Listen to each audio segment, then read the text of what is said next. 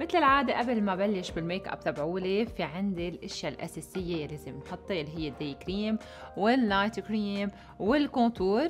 ال cleansing foam من La Mer اللي هو الخطوة الأساسية يلي بعملها. step number 2 من La Mer كمان عم بستعمل اللوشن يلي هو كمان بينحط قطرات قليلة على اليد. بعمل أكيد ال mask اللي ما بتخلى عنه يلي فيه الخلايا الجذعية. وهلأ نزل على السوق فيه ال vitamin C ال stem cells وطبعا الكافيار. حاعمل mask قدامكم سريع. عن جد هيدا أحلى mask نعمله على بشرتنا. بجدد الخلايا الجذعية تبع البشرة بشدها بيعطيها نضارة. ومثل ما بتشوفوا ال gold caviar يلي بتحسوه بلشوا يمكن يدخلوا شوي شوي على البشرة. لكن أنا بس بدي أقول لكم شغلة إنه ال mask من دكتور نادر صعب فيكم تحطوه ثلاث مرات اسبوعيا.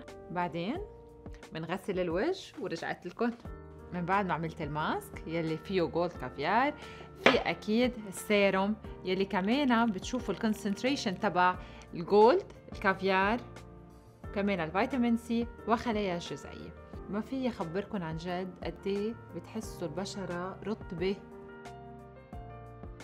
كمان هلا بدي اعرفكم على La Mer اللي هو concentrate serum يلي كمان بحط شوي منه ريحته كتير حلوة.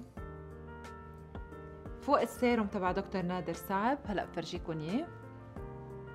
كمان بيساعد على نضارة البشرة والمحافظة على صباها وأكيد ال product يلي ما بتخلى ولا ثانية عنه قد ما فيي أحط منه ما بقول لأ. ليش؟ لأنه تحت العين خاصة أنا لأن بشرتي كتير كتير حساسة. بدي أحط contour des yeux من دكتور نادر صعب وإذا بتلاحظوا هون في كمان ذهب في gold caviar لكن هيدول معمولين بطريقة إنه مندمجين already محملهم already ال mask تبعهم. هيدا أحلى product لتحت العين. لأنه بخفف التجاعيد بنسبة 80 89% بخفف كمان من التعب خاصة كمان سواد العين اللي كتار منا بيتعرضوا لها نظرا للشمس للميك أب للإضاءة.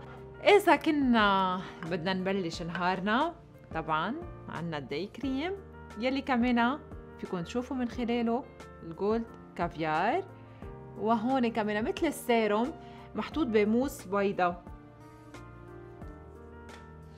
ريحة الكريم يلي موجود بدكتور نادر صعب ال new concept يلي موجود فيه بخلينا عن جد ما بقى بحاجة ولا ل foundation ولا ل éclat آه لحياتنا اليومية. آخر مرحلة من La Mer the moisturizing matte lotion يلي هو للبشرة الدهنيه بخلي بشرتي لكل آه، نهار تقريبا لمدة 24 ساعة مرطبة. فهو هن عادة ال product يلي بستعملهم. thank you